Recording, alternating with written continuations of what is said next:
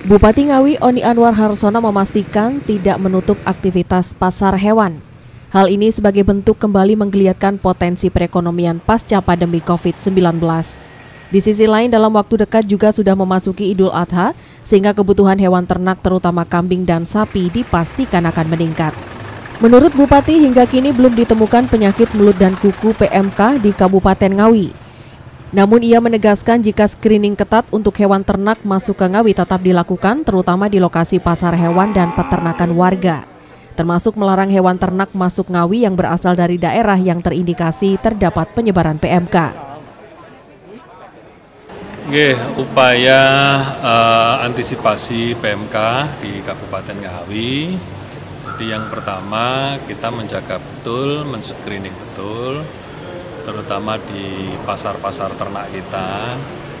Ini kita sudah ada himbauan ya surat edaran bupati terkait tidak menerima hewan ternak dari e, daerah yang sudah terkonfirmasi ada wabah PMK. Nah, jadi selama kita belum belum ada apa namanya outbreak terkait PMK, kita tidak tutup pasar hewan kita.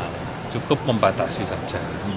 Karena pasar hewan itu bagi bagian kegiatan ekonomi kerakyatan kita. Dan ini juga mau mendekati apa namanya Idul Adha, tentu saja orang juga banyak butuh hewan ternak. Nah, seperti itu. Jadi eh, sikap kita terhadap antisipasi PMK screening biosecurity kita sediakan obat-obatan di beberapa apa namanya daerah anu uh, puskeswan kita terus kemudian screening apa namanya hewan ternak yang masuk untuk dijual di pasar-pasar uh, ternak kita ya sejauh ini insya Allah uh, tidak ada temuan terkait PMK. Oni menambahkan screening juga bakal dilakukan dengan cara pemeriksaan kondisi kesehatan hewan ternak, juga penyemprotan disinfektan secara berkala.